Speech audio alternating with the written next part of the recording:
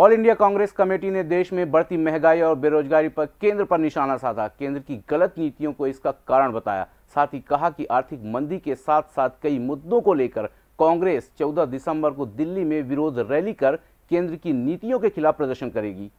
सिंगरौली के बैठन में एआईसीसी सदस्य हरिकेश त्रिपाठी ने केंद्र सरकार को आड़े हाथों लेते हुए कहा कि केंद्र सरकार की जनविरोधी नीतियों को लेकर कांग्रेस 14 दिसंबर को दिल्ली में रैली निकालकर विरोध प्रदर्शन करेगी।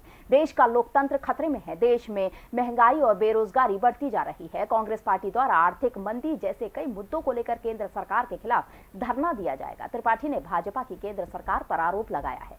कि केंद्र ने जनता से जो वादे किए थे, उनमें से एक भी पूरा नहीं किया है। भाजपा की असलियत जनता के सामने आ चुकी है। भाजपा को केंद्र की सत्ता में बैठे छह साल हो गए। मोदी सरकार ने अपना एक भी वादा पूरा नहीं किया। नोटबंदी ने उद्योगों को बर्बाद कर दिया। लाखों लोग बेरोजगार हो गए और किसान आत्महत्या करने को मजबूर हो गया।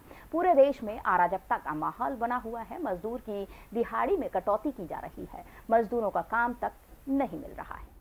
इसका उद्देश्य है कि 14 दिसंबर को भारत बचाओ रैली, जो सोनिया जी के आह्वान पर रामलीला मैदान में होने जा रही है।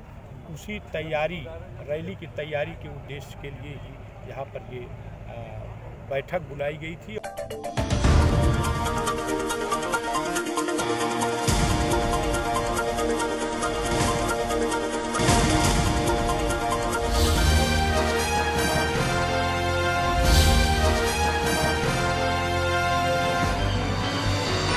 आप देख रहे हैं दखल न्यूज़।